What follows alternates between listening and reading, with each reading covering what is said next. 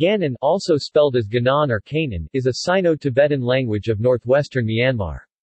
It belongs to the Luish branch, and is most closely related to the Kadu language of Myanmar. Names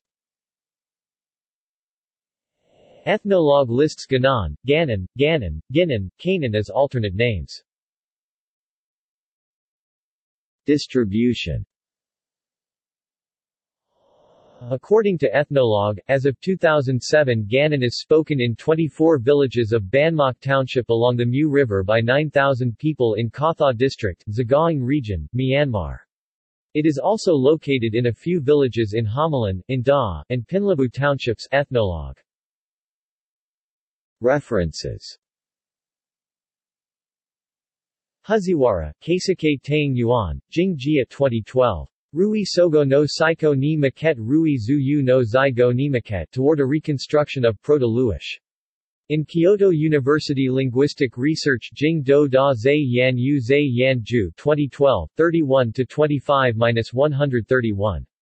doi, 10.14989, 182194 Matisoff, James A. 2013. Re-examining the genetic position of Jingpho, putting flesh on the bones of the Jingpho-Luish relationship. Linguistics of the Tibeto-Burman Area 36 2, 1-106.